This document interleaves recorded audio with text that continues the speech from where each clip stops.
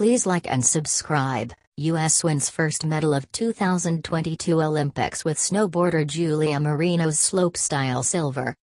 Event favorites Zoi Sadowski Synnott of New Zealand took the gold, her country's first in a Winter Olympics.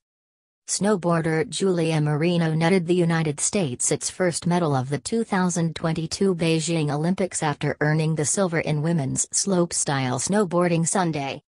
Event favorites Zoi Sadowski Synnott of New Zealand took the gold, the country's first in a Winter Olympics, with a score of 92.88 on her final run.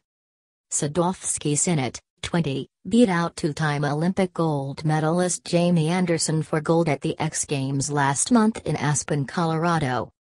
Australian Tess Coady, 21, took bronze in her Olympic debut.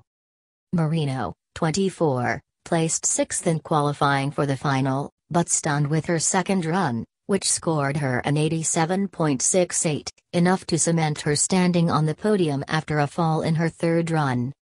Marino, of Westport, Connecticut, has been a mainstay in the sport without much Olympic validation until Sunday.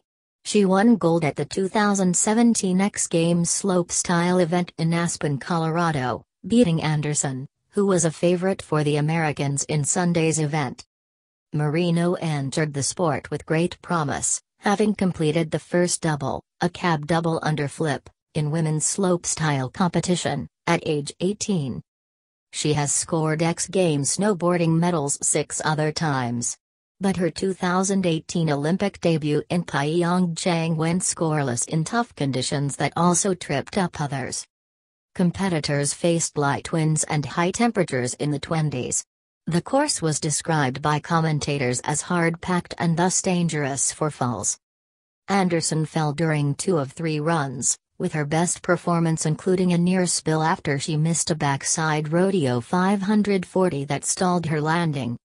Slopestyle debuted in 2014 Sochi Olympics, where the Californian nabbed her first gold before earning a second in perilous conditions at the 2018 Pyeongchang Olympics. Competitors are judged on the difficulty, variety and flow of their feature-based tricks, such as skateboard-style board slides and the twists and turns completed on jumps, and they're allowed at least two runs.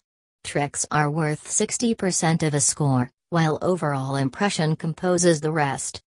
The Zhangjiakou Genting Snow Park's downhill course is shared with freestyle skiing and present sporters with rails of different lengths and curves, plateau features called mailboxes, and jumps that can produce crowd-pleasing airs.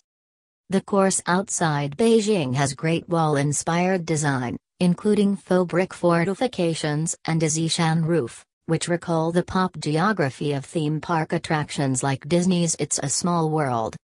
The International Ski Federation, which manages snowboarding and at the behest of the International Olympic Committee, described the course in a statement January 27 as the most technically advanced, thoughtfully designed, and awe-inspiring slopestyle course ever constructed.